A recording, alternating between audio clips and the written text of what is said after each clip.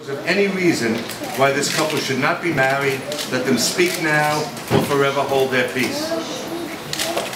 Do you, Gregory, solemnly declare that you take Shane to be your spouse?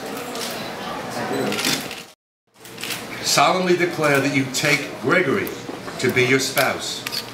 I do. Do you promise to love, honor, cherish, and keep him for as long as you both shall live? I do. Vested in me by the state of New York, I pronounce you married. Congratulations.